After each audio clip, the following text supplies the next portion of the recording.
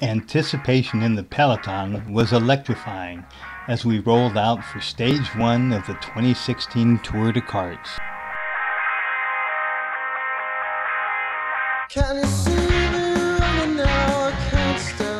After blunting breakaways in Ladd's Addition, things settled down a bit as we rolled through Eastmoreland, then Westmoreland, through Sellwood, and finally to the Springwater Trail.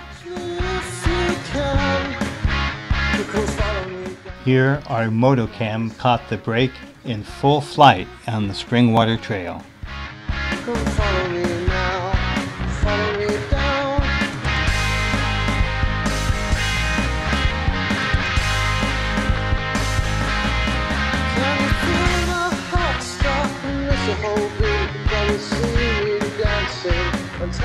Upon reaching the Lents neighborhood, the route bent back west through Woodstock and past Reed College, with its ominous nuclear reactor invisible to the passing peloton.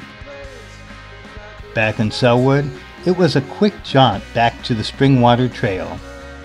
Once there, we rode Gruppo Compatto along the Willamette River back to Ladd's Addition, where the sprinters made short work of the finish to Cartopia.